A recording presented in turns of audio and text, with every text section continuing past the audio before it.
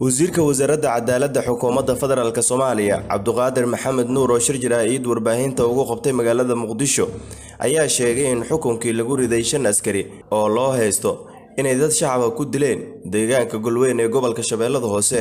Wasiirka ayaa sheegay in labo ka mid a askartaasi lagu riday xukun dil toogasho ah halka saddex kalena lagu xukumay sagaal iyo soddon sano oo xabsi ah waxaana uu wasiir cabduqaadir maxamed xusay in maxkamadaynta muddo ay socotay lana soo gebagabeeyey wasiirka wasaaradda cadaaladda xukuumadda soomaaliya ayaa carabka ku dhuftay inay kulamo la yeesheen madaxda midowda afrika ee amisom ayna kala hadleen xasuuqii dhacay wuxuuna intaasi ku sii daray in amisom ay qirteen dilka dadkaasi shacabka ahaa.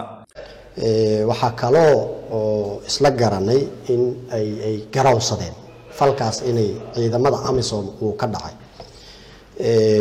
Waxaa kaloo oo aan isla garanay in natiijada ka soo bixi doonta guddigaas ay noqoto in maxkamad lagu saaro dadkii falkaas geystay.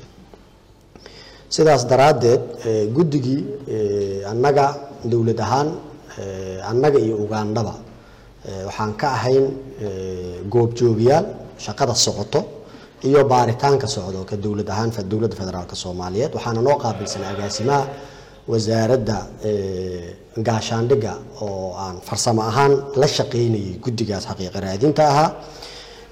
Sidaa daraaddeed baaristii dheereed kadib waxaa soo baxday in dembiga uu ku cadaaday ciidamadii meeshaas joogay in dadkaas marasta ah meesha lagu laayay. Maxkamad ciidan ayaan codsanay in la saaro.